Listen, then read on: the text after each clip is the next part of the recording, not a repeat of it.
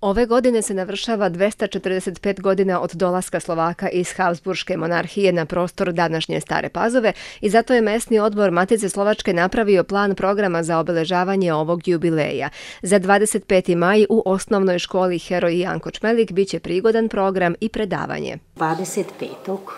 to je ono obeležavanje kada su stvarno naši prvu noć tu proveli, već su se tu i jednostavno osjećali kao kod kuće. I tako da, da će taj 25.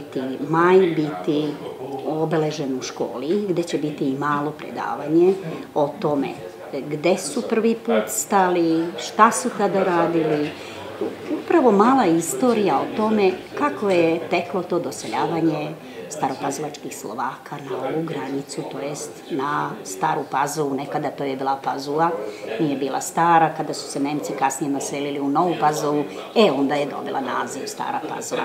Prvi Slovaci su došli na prostor sadašnje Stare Pazove 1770. godine, predvođeni učiteljima kao što je bio Jan Bon, a već nakon mesec dana od nastanjivanja okupili su se pod otvorenim nebom na prvom bogosluženju i vrlo brzo sagradili i svoju crkvu. Slovaci u Staroj Pazovi su prvi koji su imali zvonik, jer znamo da i Srbima je nekada bio zabranjen zvonik, e, zvona su bila, rečeno je vezana, a kod nas je bio prvi zvonik sagrađen, sagrađen kod Slovaka na ovu, ovoj Vojvodini, tako da se računa da smo mi ti prvi koji su imali i prvu crkvu i prvi zvonik.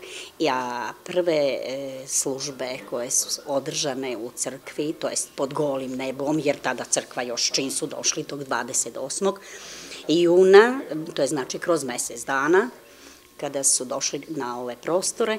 Predsjednica mesnog odbora Matice Slovačke u Staroj Pazovi Ana Balaž je istakla da su svi programi u saradnji sa Slovačkom crkvom, školom i skudom ove godine u znaku pomenutog jubileja, čije bi obeležavanje trebalo da se završi u septembru poetsko-dramskim programom i izložbom starih fotografija.